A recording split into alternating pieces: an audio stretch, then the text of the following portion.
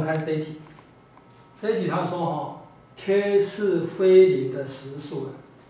若对任意的实数 x 的话哈，这个呢，诶抛物线哈，这是抛物线哈，它大于等于零的话恒成立啊。那么要求 k 的话，我们哦把这个呢看成 f(x) 那这个是一个抛物线，抛物线的话呢大于等于零，代表什么？抛物线的话横在 x 轴的上面。哦，可能呢，就是说呢，跟它接触一点，也有可能呢，跟那个手完全没有接触。跟那个手接触一点的话，就是什么呢？就是判别式哈等于零的时候了。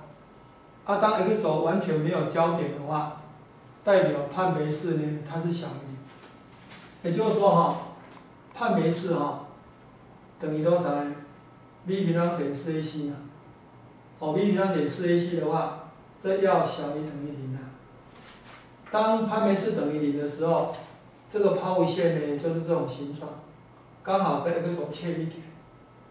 当判别式呢小于零的时候，这个抛物线呢哈，就整个函数就全部呢在 x 轴的上面。